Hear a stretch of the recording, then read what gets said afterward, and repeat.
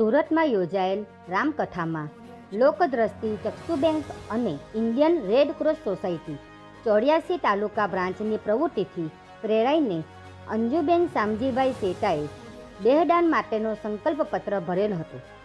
સમઢિયારા તું તાલુકો જિલ્લો બોટાદ ખાતે તેમનું દુઃખદ અવસાન થતાં તેમના પુત્ર ઓઢવજીભાઈ અને માધવજીભાઈ ડૉક્ટર પ્રફુલભાઈ સિરોયાનો સંપર્ક કરતા તેમણે રાજકોટમાં અંગદાન, ચક્ષુદાન, દેહદાનની પ્રવૃત્તિ કરતા જનકલ્યાણ ટ્રસ્ટના ચેરમેન ઉમેશ મહેતાનો સંપર્ક કરી અંજુબેનની ઈચ્છા મુજબ તેમનું દેહદાન ગ્લોબલ મેડિકલ કોલેજના અભ્યાસ કરતા વિદ્યાર્થીઓને આંતરિક રચના શીખવા માટે અર્પણ કરેલ છે.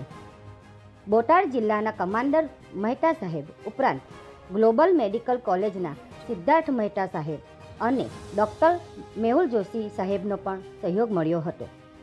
બોટાદથી સંવાદદાતા અશોક જોશીનો રિપોર્ટ.